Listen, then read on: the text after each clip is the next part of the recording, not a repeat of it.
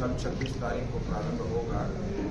आज पत्रकारों से बात करते हुए मैं ये कहना चाहता हूँ कि इस सम्मेलन में तीन दिन तक देश और विदेश के बहुत जानी मानी हस्तियाँ और बहुत प्रसिद्ध व्यक्तित्व तो इसमें शामिल होंगे। सर्वप्रथम मैं इस बात की सूचना देना चाहता हूँ, हमारे प्रदेश के यशस्वी मुख्यमंत्री आदरणीय श्री अशोक गहलोत, जिनको हमने इस पूरे समारोह का मुख्य अतिथि तरह से तय किया और उन्होंने सहर्ष स्वीकार भी किया। वो इस सम्मेलन में आएँगे, उनकी कैबिनेट के दो तीन वरिष्ठ मंत्री और कई विधायक साथी भी उनके साथ इसमें आएँगे। विभिन्न कॉरपोरेशन के चेयरमैन इसमें आ रहे हैं और एक लंबी सूची है जो इस कार्यक्रम की शोभा बनाएँगे इनके अतिरिक्त हमारे आर्य समाज के भी जो बड़े व्यक्तित्व हैं, देश के अंदर संगठन में महत्व रखते हैं। देश में आ रहे हैं, सारे देश के गुरुकुलों का जो संगठन है, श्रीमद दयानंद वैदिक गुरुकुल परिषद, इसमें दो ढाई सौ गुरुकुल उसके सदस्य हैं। उसके अध्यक्ष स्वामी प्रणवानंद जी इसमें आ रहे हैं, चांदपुर राजस्थान उत्तर प्रदेश के विधायक स्वामी ओमवेश इसमें आ रहे हैं।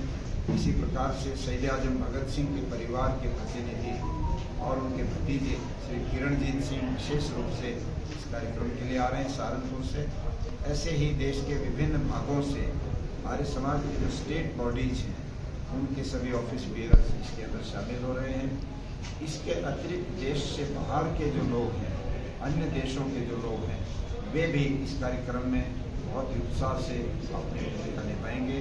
दक्षिण अफ्रीका के एमिरेट्स जो प्रधान हैं, अर्थात जो पूर्व प्रधान हैं वो डॉक्टर विश्राम रामविलास और वर्तमान प्रधान डॉक्टर कार्तिक सानंद इसी तरह से ईस्ट अफ्रीका आर्य प्रतिनिधि सभा के चेयरमैन मिस्टर स्वर्ण वर्मा ऐसे पोलैंड के आर्य पत्नी सभा के अध्यक्ष श्री सुरेन महाबली ऐसे अमेरिका के वर्तमान में मिजोरी स्टेट के वित्त मंत्री आदरणीय विवेक मलिक जी और डॉक्टर अमरजीत शास्त्री जो वहाँ पर स्कॉलर हैं अमेरिका में, ऐसे अनेक लोगों की सूचनाएँ हमारे पास हैं, जो इस सम्मेलन में सम्मिलित हो रहे हैं। तो ये सम्मेलन अपने आप में बहुत ही महत्वपूर्ण एक भूमिका निभाने जा रहा है। और इस सम्मेलन से देश में सांप्रदायिकता के खिलाफ, जातिवाद के खिलाफ और विभिन्न अन्य ऐसी समस्याएँ जो आज समाज जिनसे जूझ रहा है, उनके खिलाफ बहुत महत्वपूर्ण फैसले लिए जाएँगे और उसके लिए पूरे देश में एक मूवमेंट आर्य समाज की तरफ़ से प्रारंभ किया जाएगा।